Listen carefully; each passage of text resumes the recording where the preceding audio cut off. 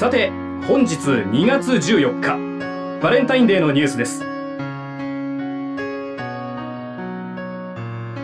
まずはマイリースポーツさんの記事ですが東間和沙追加公演中止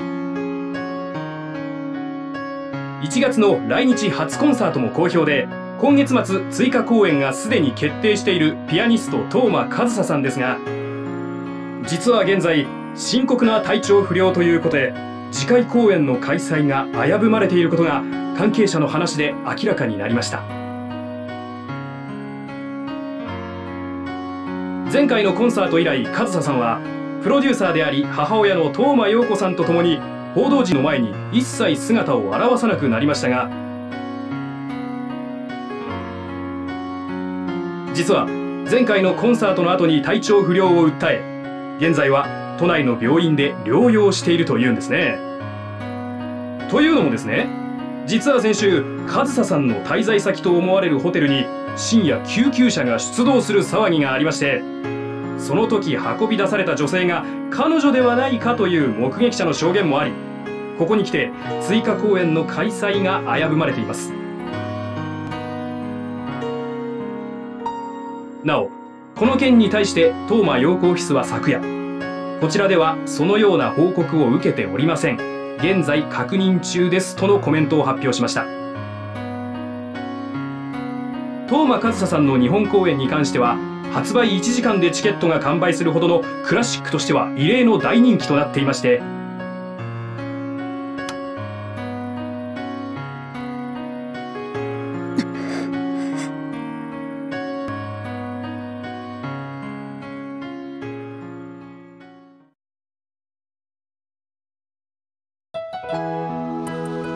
ことですかこの広告。確か2100円って話でしたよね。なんで3150円になってるんです？いくら増刊号だからってこの価格は。え？俺が強く押したって？なんでそれ？は？あ聞いてませんよ全然。なんでそんな話になってんです？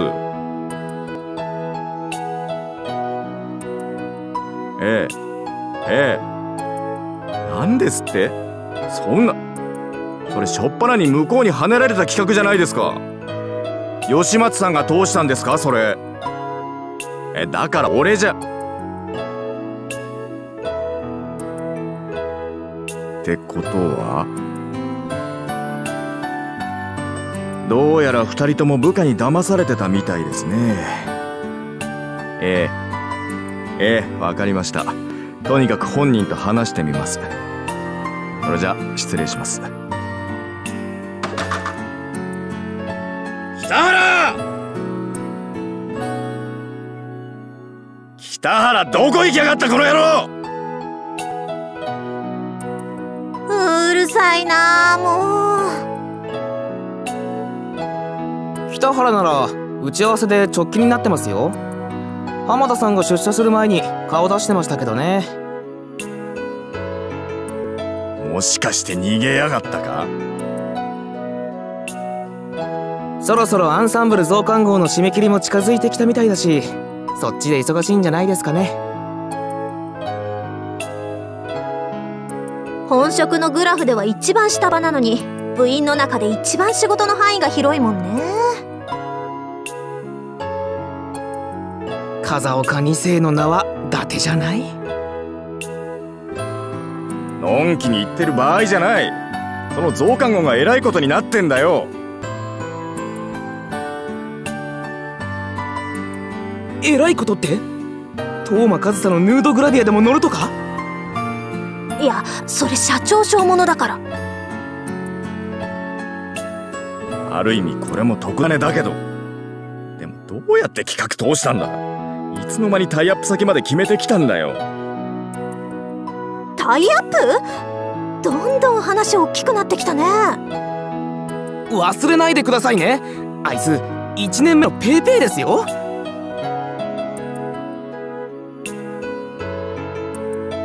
かと思えば追加公演中止なんて噂も流れてるし。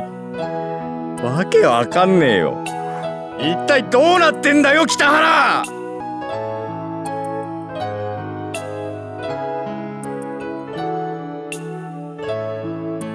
留番電話センターに接続します。合図の後30秒以内でメッセージをお願いします。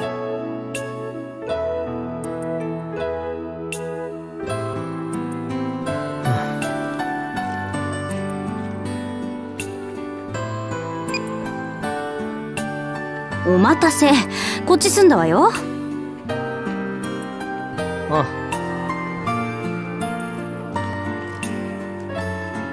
何？まだ繋がらない？週明けてからずっと留守電ばかりだ。どうなってんだよ春樹。締め切りが近くて連日徹夜とか？確か来月発売の本メインで任されたんでしょ？にしたって事前に一言あるだろうあいつなら。何しろ本当に来るつもりあるか？信じるしかないよ。春樹だって今日がどんな日か忘れてるわけないし。けど最近おかしかったろあの二人。それは。なんか会ってる気配なかったしせつなちゃんに聞いてもどことなくぎこちなかったしでもほらお互い忙しくてって言ってたじゃん。今は仕方ないんじゃないのかな。まさかあいつ。まだトーマのこと引きずってるんじゃないだろうな。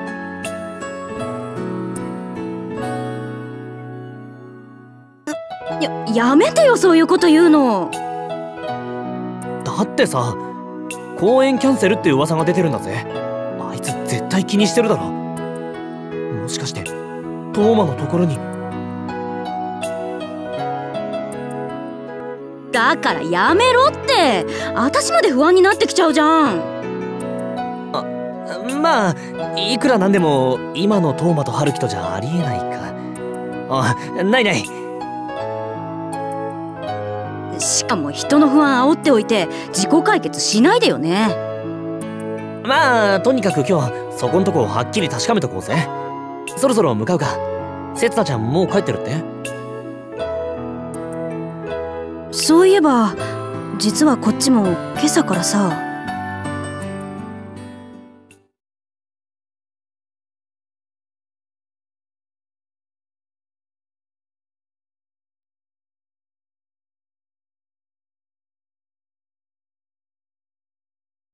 であの飛ばし記事みおちゃんが流したの？一部マスコミの間で社長の病気のことが取り沙汰されていたので目先を変えておこうかと思いまして。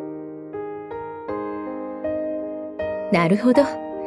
上総の件がガセと分かった。ら今度は東間陽子だと言っても誰も信用しない。か？ピンチをチャンスに変える会話術は社長に鍛えていただきましたから。さすがは東間陽子オフィス随一の切れ者。やってくれるわね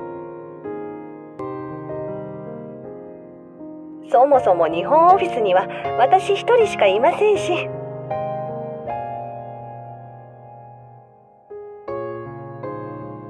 であの子はまだ？ええ。客室から一歩も出てきません。そろそろ一週間になるんですけど。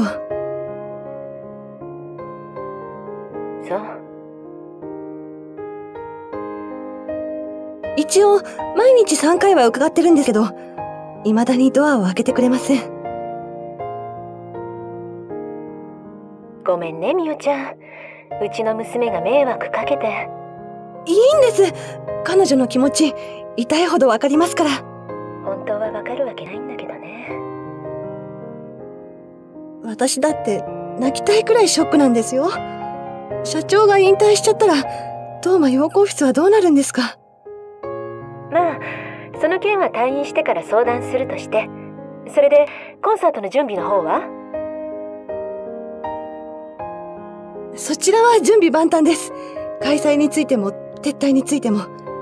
例の記事も半分はそれが狙いですから。やっぱり東間陽子オフィス随一の切れ者ね。社長が決断した瞬間にすぐに各方面が動けるように手配しています。損害も最小限に抑えられるように手を打ちました。ありがとうみおちゃん。でも大丈夫。追加公演は予定通り開催するわ。やるんですか？正直今の上総さんを見ているととてもあと2週間で元通り弾けるようになるとは。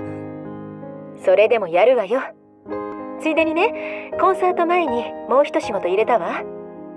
今夜担当がそっちに行く手はずになってるから。はあ？何言ってるんですか社長。今の状況、分かってんですか？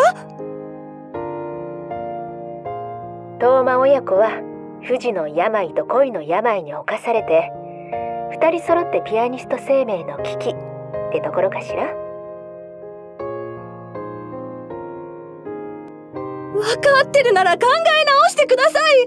コンサートのことだけでも慎重な対応が必要なのにこの上まだ負担をかけるなんて。まあね。実は私もちょっとビビってる。あまりにもやりすぎなんじゃないかなって。でしたら。でも今はその劇薬にすがるしかないかなって。日本でなければできないことがあるかなって。でも彼女今は誰とも会おうとしないんですよ。私でさえ部屋に入れてくれないんですから。それは多分大丈夫。とにかくみおちゃんは担当の人が来たら部屋の前まで案内するだけでいいから。そこから先は本当に責任持てませんよええそれでいいわ。だってあの子はその人に対してだけは逃げることは許されないから。よくわかりませんけどわかりました。やります。仕事ですから。ほんといつもいつも面倒かけてごめんね。退職金弾むから。冗談でもそういう演技でもないこと言わないでくださいそれじゃねみよちゃん。あとよろしく。もう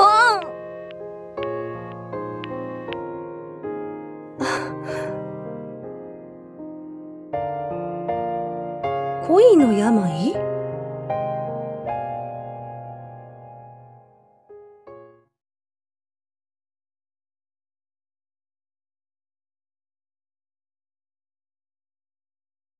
すいません。開けてください。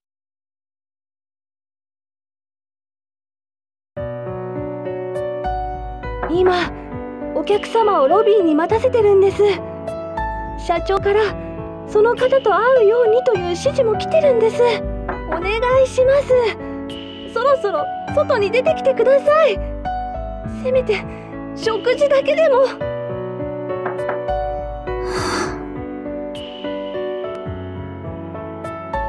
今日は今日は簡単に引き下がりませんよ。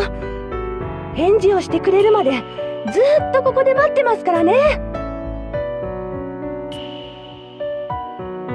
元気ですか？起きてますか？意識ちゃんとしっかりしてるんですか？お願いですから。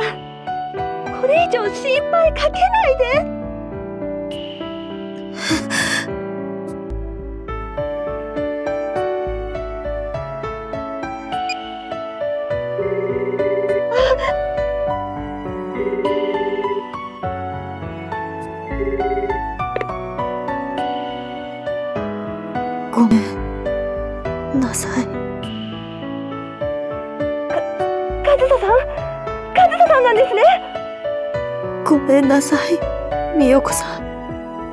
本当に。ごめん。よかった。とにかく大丈夫なんですね。お腹空いてません？いい。何も食べたくない。カズサさん。わかんないよ。もう何もわかんない。とにかかくここを開けてください。落ち着いて話をしましょう。ダメだよ。今は人に会えない。どんなこと言い出すか。どんなことしてしまうか。自分でもわからないんだ。だからこそ人に会うべきなんですよ自分一人で考え込んじゃったら何もいい解決策なんか浮かんできませんよ。でもでもでもダメだよ私。もうこの国にいるのは嫌だ。ウィーンに帰る。社長はお母さんのことはどうするんです？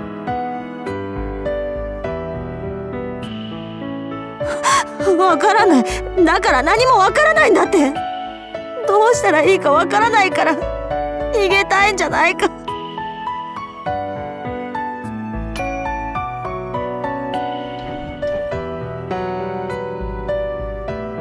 なのにどうしたらいいかわからないから逃げられない。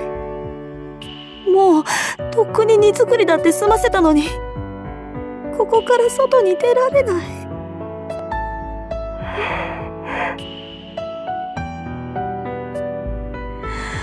何もできない。決められない。動けない。生きてる価値ないよ。もう。そんなそんなこと。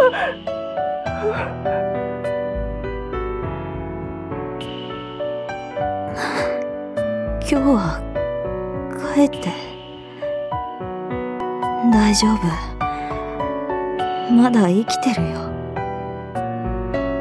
生き恥さらしてるよ。ええここなんですけど。でもそのやっぱりまだ体調が悪いみたいで。うん。はい。だから今日のところは。え？でもその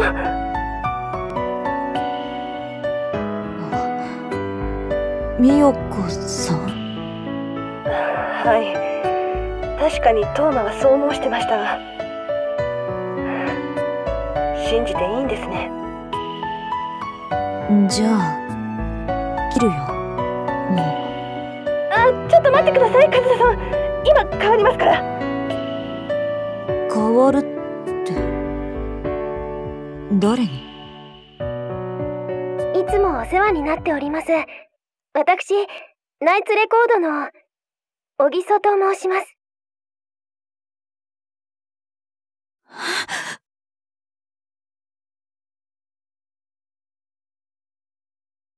久しぶりだね。カズさん。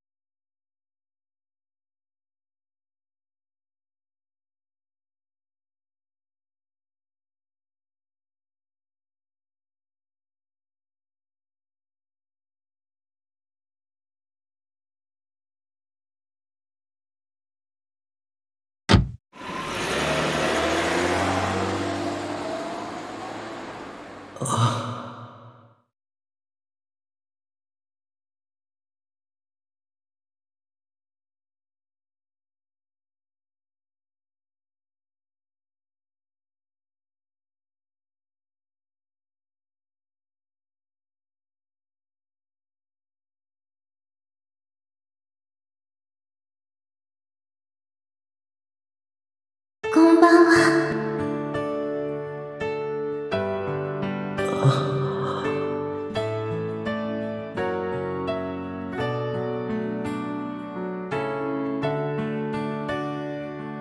これ、使い捨て回路。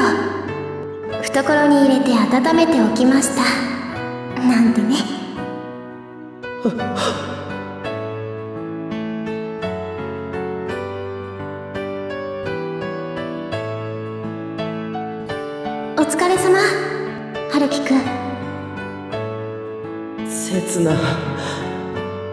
ご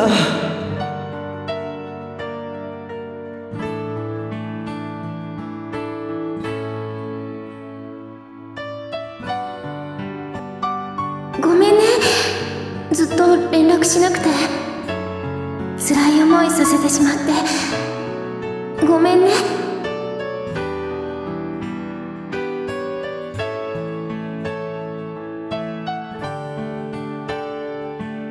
ごめん。ごめん刹那俺やっぱりあいつを支えきれなかった。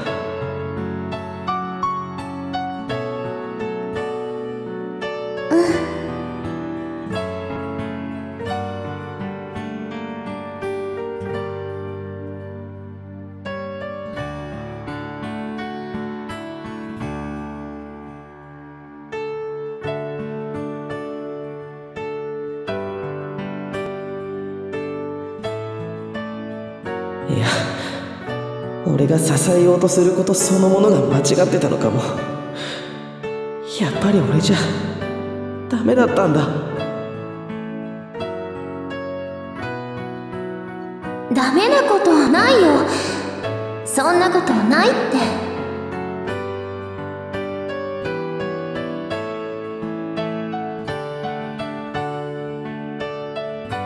ダメだよやっぱり。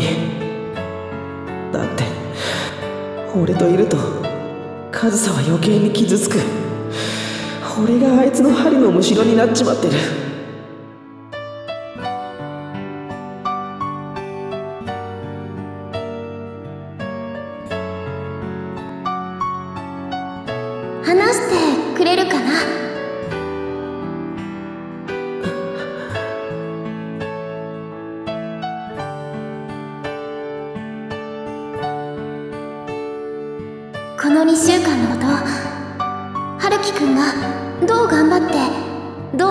どう挫折したのか？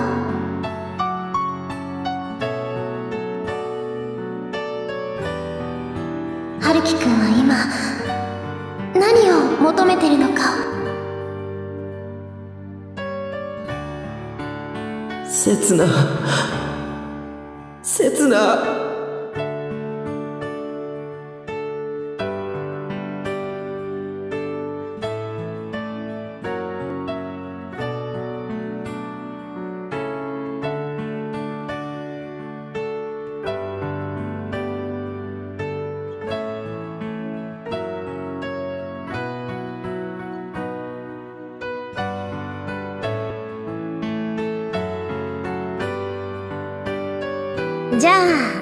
めてナイツレコード広報担当の小木曽と申します。今後ともよろしくお願いいたします。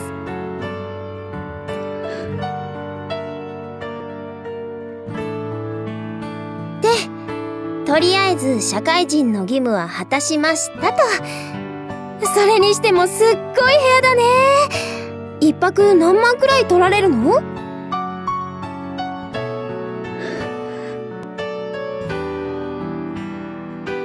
私も他のインテグラル泊まったことあるけどいつも普通の客室だからそれでも2万くらい取られるんだよ。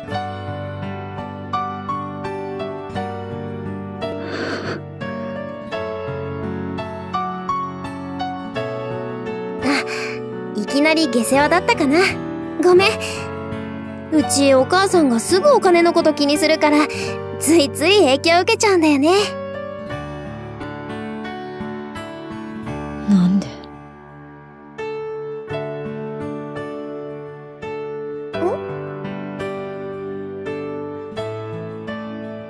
なんで？来たんだ。私を見下したいのか？カズさん。笑いに来たのか？罵りに来たのか？哀れみに来てくれとでも言うのか？話をしに来たんだけど。ただそれだけなんだけど。怒ってんだろ？私のこと。許す気なんか？ないんだろ？そうだね。せっかく帰国してきたのに一度も連絡くれないこととかちょっと根に持ってるかも。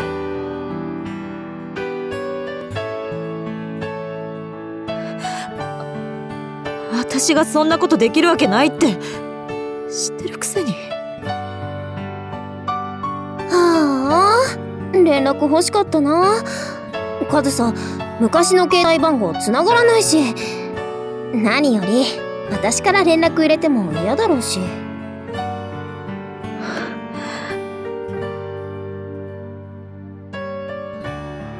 それは否定してくれないんだ。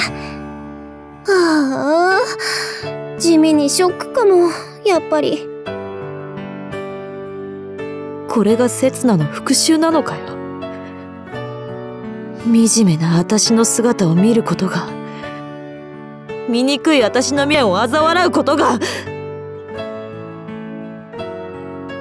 なんでそんなネガティブに考えちゃうかな。だってだってお前にここ教えたの？春樹だろ？そうだよ。少し考えればわかることだもんね。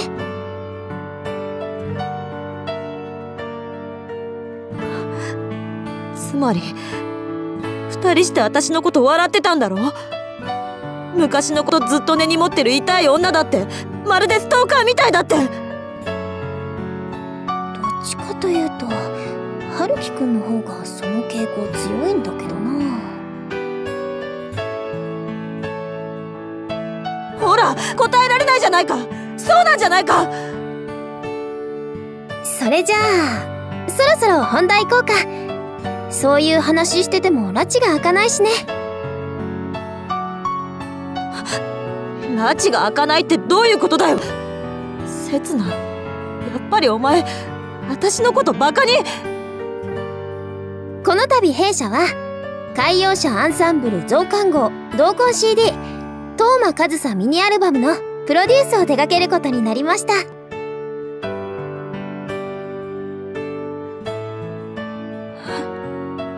なんだって？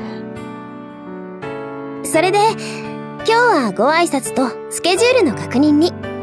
収録内容はおいおい相談していくことにしましょう何しろ同時期にコンサートもあるから日程がタイトで。海洋社アンサンブル？ちなみに今回はうちの完全持ち出し。いずれ日本で東間和沙の CD が発売される時のために恩を売っておこうってのがぶっちゃけた狙いなの。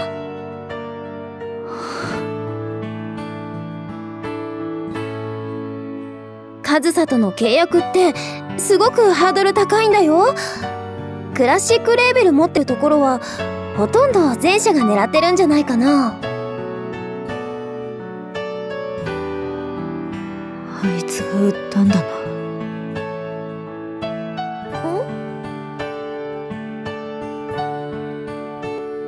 あいつが売ったんだな。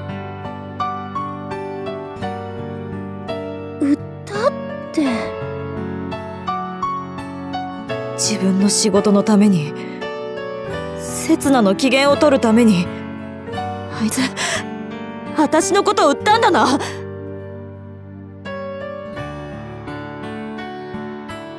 そう思う？だってだってそんなそうじゃなきゃこんな出来すぎた話あるかよ。そう思うんなら思えばいいんじゃない？上総がその可能性を信じられるならだけどね。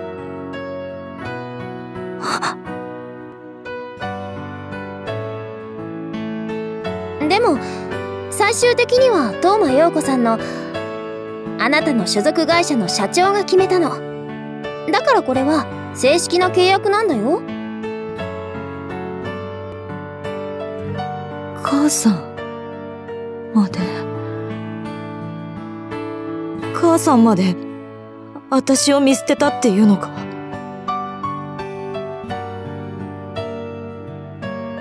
自分で本人に聞いてみたらどうかな。心配してたよ陽子さん。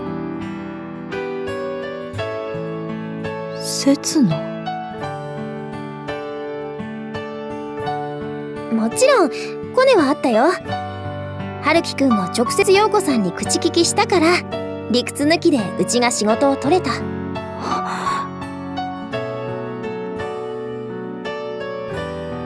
海洋社ナイツレコード東馬洋子オフィス。三社を巻き込んだありえない友達仕事だよね。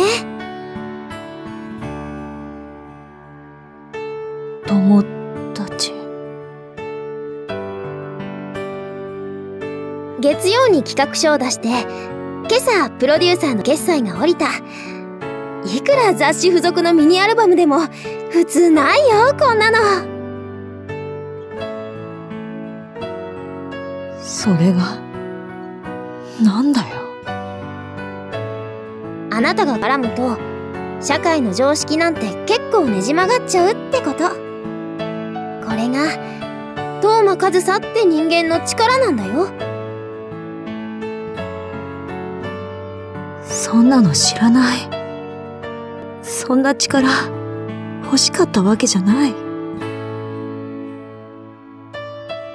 ただ好きな人を振り向かせられたらよかった。春樹くんにさえ届けばよかった。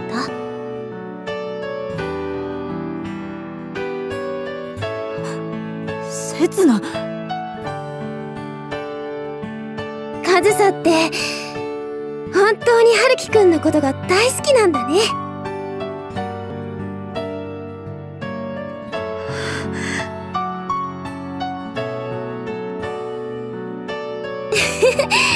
図星？なんて聞くまでもないよね。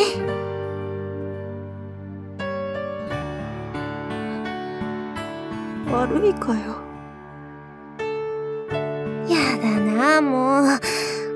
その可愛さ反則だよ。からかうなよ。そんな顔されたらそりゃあ春樹くん参っちゃうよ。カズサのこと二度と話せなくなっちゃうよ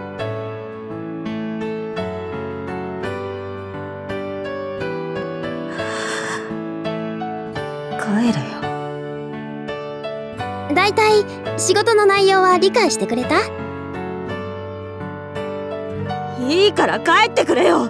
私はそんな仕事しない。するわけないだろ。わかった。とりあえず帰るね。今日のところは挨拶だけのつもりだったし。二度とそんなわけにはいきません。締め切り迫ってるしね。追加公演より前に収録済ませちゃいたいし。そんなの物理的にだって無理だ。あと2週間しかない。あと2週間か。昔もそんなやっつけ仕事があったね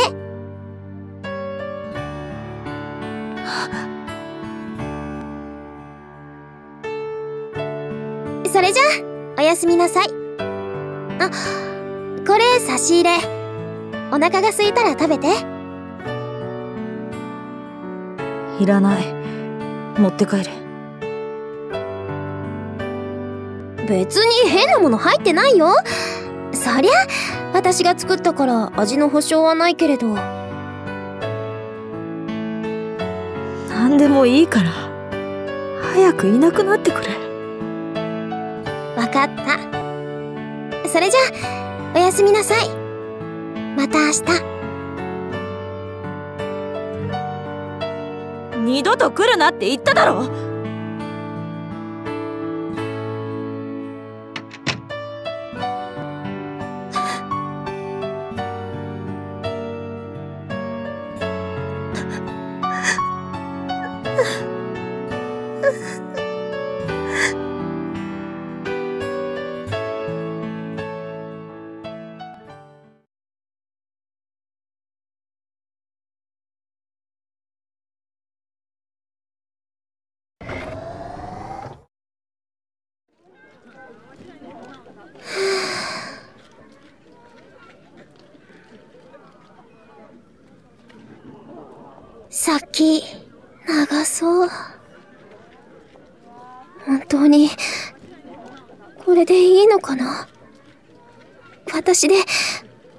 大丈夫なのかな？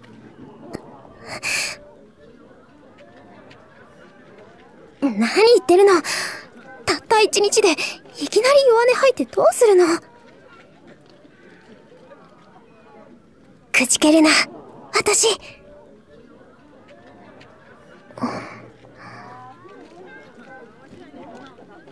イオたち怒ってるだろうな。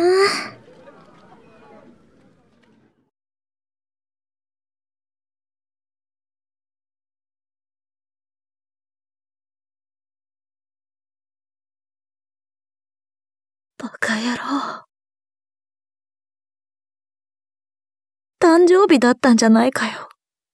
あいつ。そんな大切な日に、なんでこんなとこ、来てるんだよ。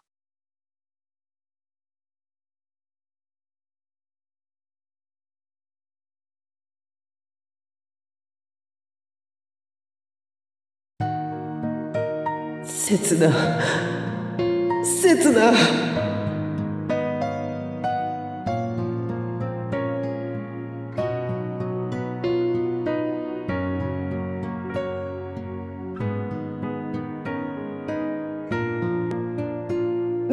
刹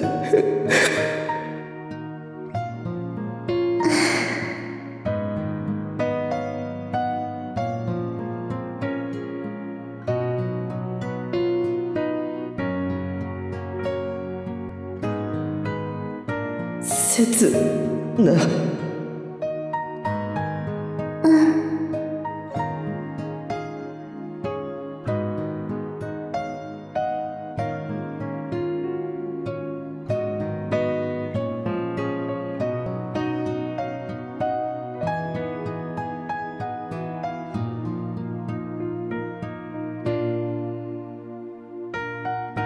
俺じゃダメだった。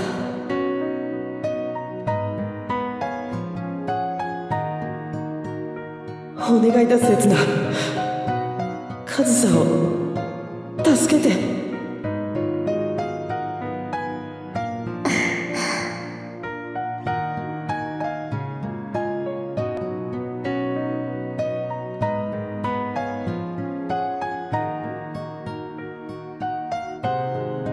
今の上総は俺が何を言っても傷つけるだけだから。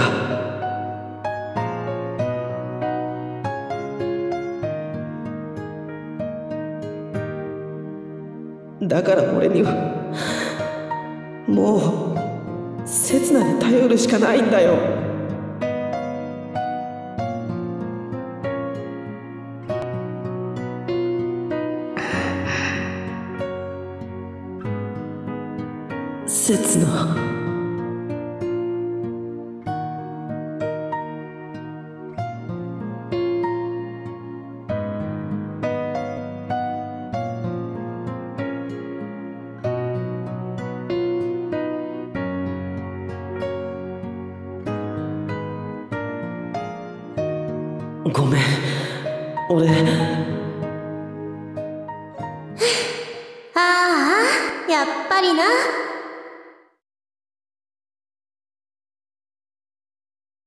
え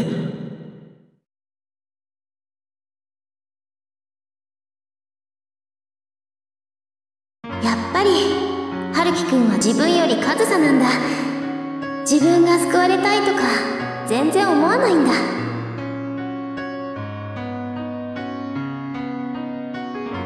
刹那上総を助けてなんだ。俺を助けてって言わないんだ。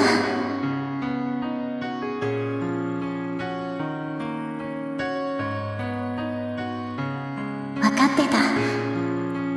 本当は最初から分かってた。春樹くんが自分より誰よりも上総を優先させるなんて。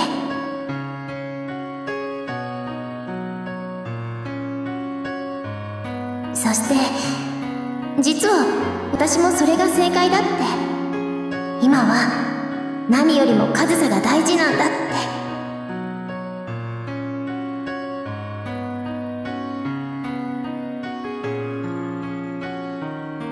だからもし春樹くんが自分のことを優先させたら私に甘えてきたらひっぱたいてやろうって最初から決めてたのよ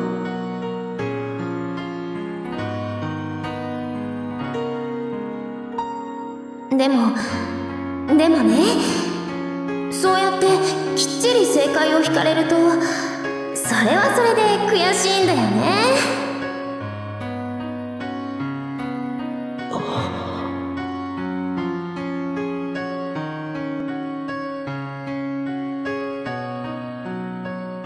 5年経っても5年間会わなくても春樹くんの中での一番は変わらないんだなって。ううん。永遠に変わらないんだなって。それは俺はそんないやごめん刹那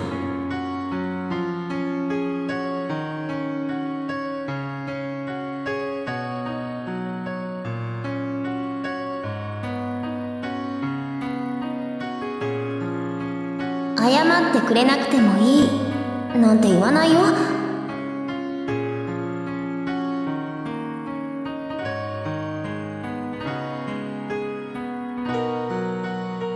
5年かかっても私だけを見てくれない人にそこまで同情なんかしないよ。全てが解決した後に刹那が決めたことに従うよ。だから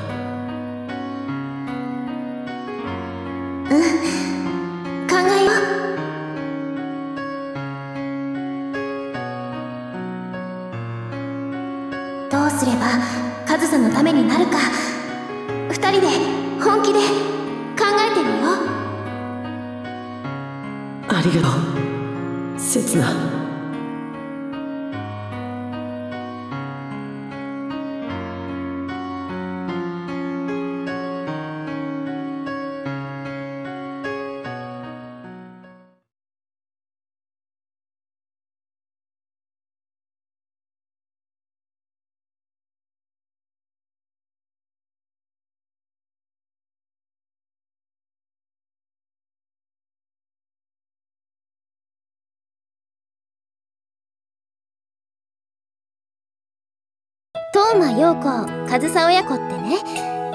今や日本のクラシックレーベルにおいては最も売り上げが見込める有料コンテンツなの。そんなの全部母さんの力だ。私はただの小判ザメで。ちょっと違うんだ。上総はね完全な人気先行型。今のところあなたの本当の実力は興味を持たれてない。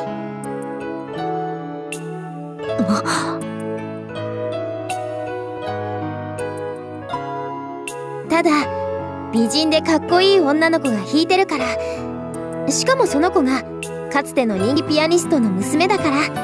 クラシックに興味ない人までもが飛びついてるだけ。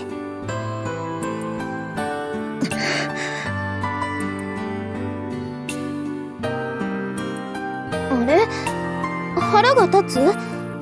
でもおかしいな。陽子さんも春樹くんもあなたが自分でそう言ってたって。誰も怒ってなんか。それとも人に言われるとムカつく？特に私なんかに。怒ってないって。言ってるだろ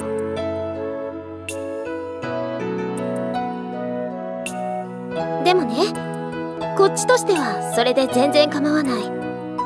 上総が本物の天才だろうがまぐれだろうが日本での最初の CD だけは何としてもうちから出したい。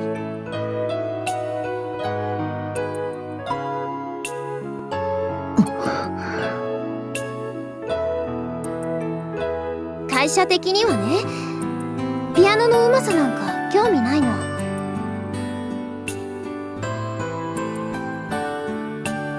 そんなこと刹那に言われたって。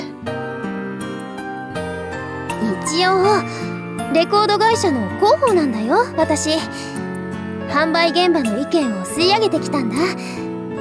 だから比較的市場の意見に近いと思うよ。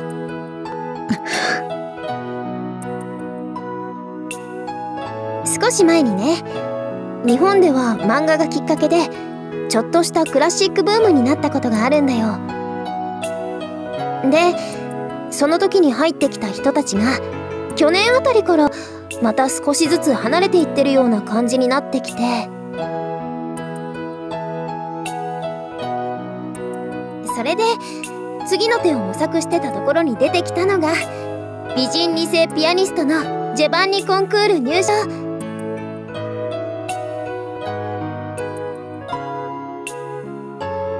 つまり私は新しい客寄せパンダってことだ。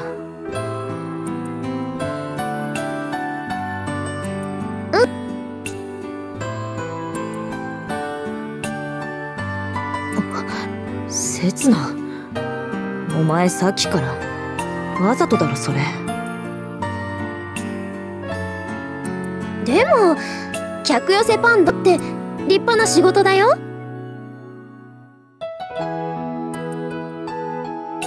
どこがだよ。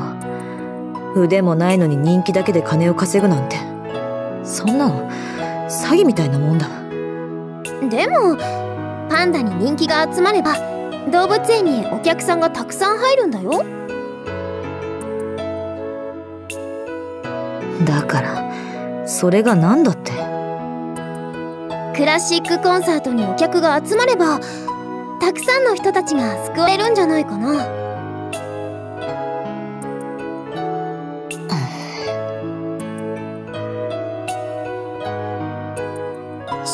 が足りなくて演奏活動がままならないプロとか海外留学したくてもできない学生とか。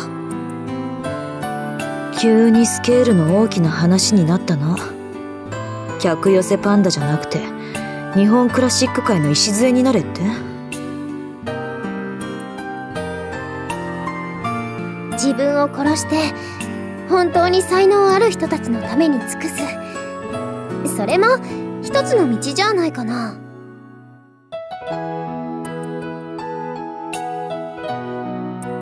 私には才能がないっていうのか？違うよ。私にはうちの会社的にはそんなことわからないし興味ないって言ってるだけ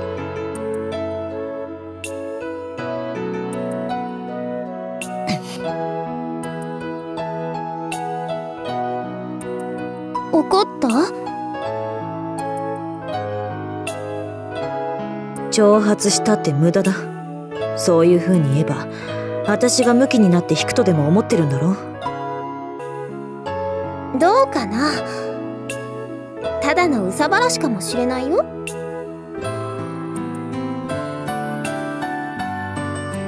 帰れよ。何と言われようと私はやらないんだ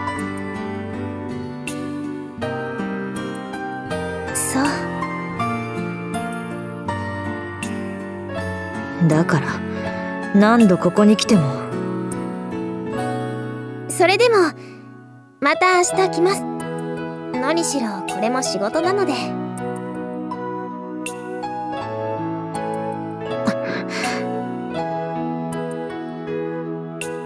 さてとそういうことだから今日のところはこれで。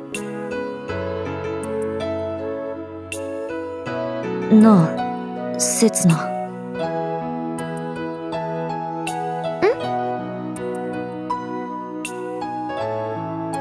私が憎いなら正直にいてくれ。そんな仕事にかっこつけてないでさ。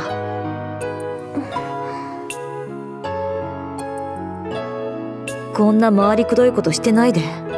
私のこと心の底から嫌いだって言ってくれよ。こんなモヤモヤしたままじゃ私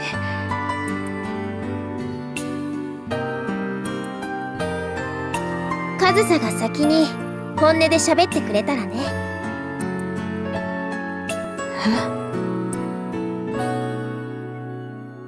カズサがさ私のことが嫌いだからこの仕事を受けないって言ってくれたら私も本音で喋るよ。お前何を？に正直さを求めるならさまず自分が正直になろうよカズさ。春樹くんにはあんなに素直になったんだから。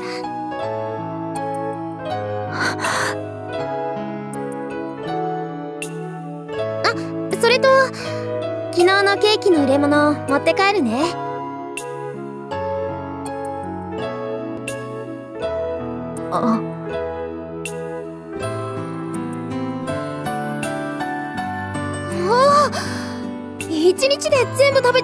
べちゃったんだワンホール丸ごとあったんだよ？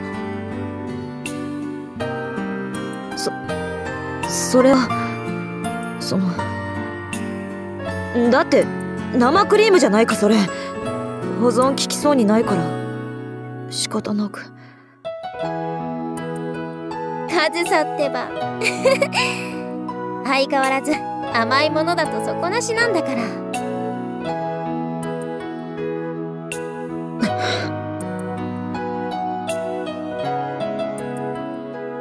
ゃあね。また明日。待てよ刹那何？お前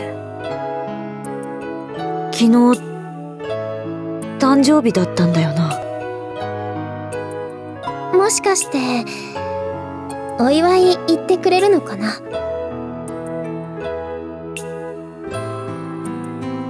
なのになんで来たんだよ。春樹と一緒に過ごさなかったんだよ。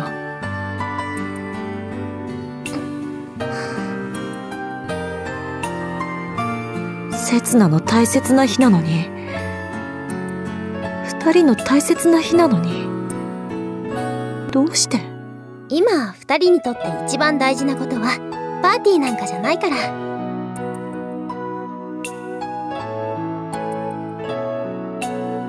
刹那またね。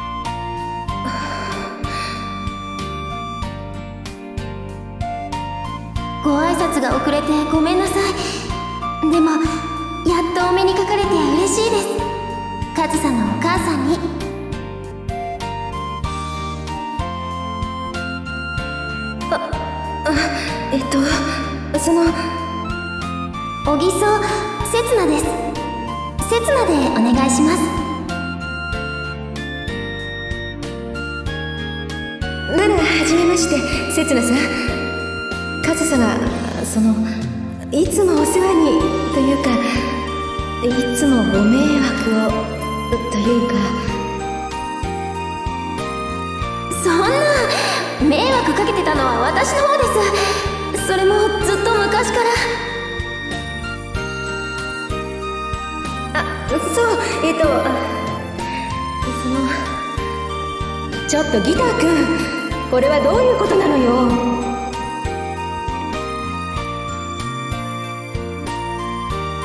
ギターくん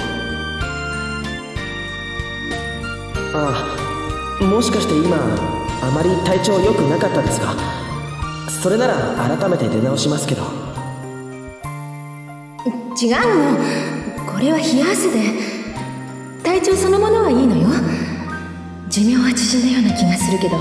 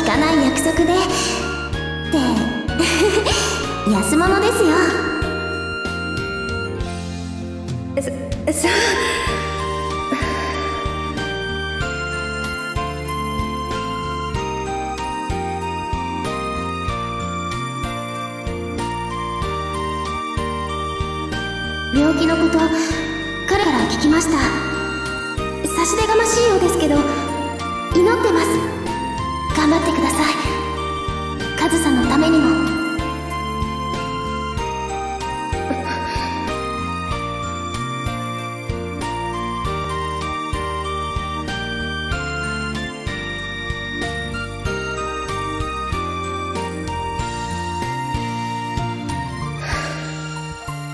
それで？はい。私を責めに来たの？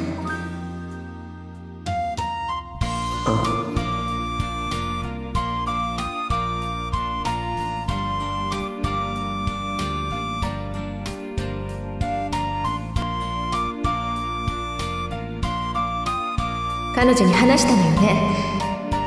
私が今までカズサのために何をしてきたのか。それははい。そっか。そういうことね。つまりあなたはこの人を選んだんだ。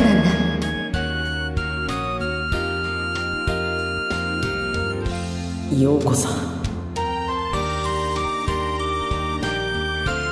分かった。ギター君あなたの結論尊重するわ。おめでとう。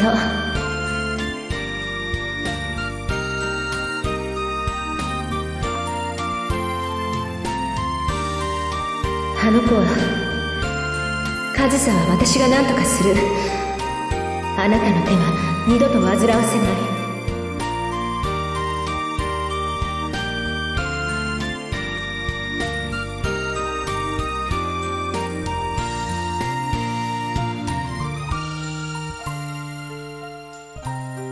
やっぱりちょっと疲れたみたい。